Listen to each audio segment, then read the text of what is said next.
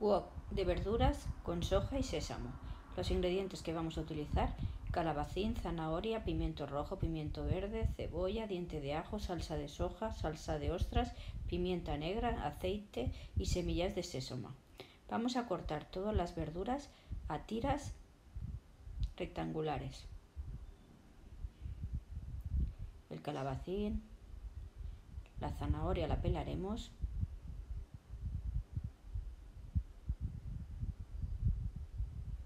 el pimiento verde, el pimiento rojo, todo bien lavado.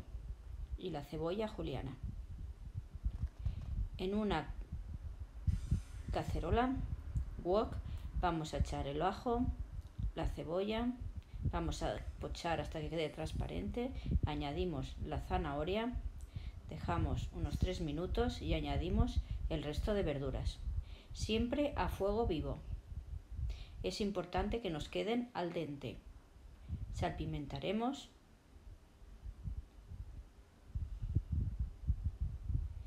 Y a fuego vivo dejaremos unos 2-3 minutos.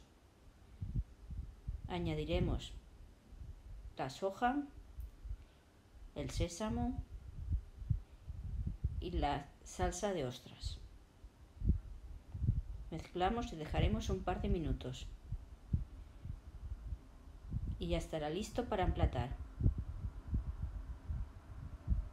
Queda muy rico y al dente. Bon appetit!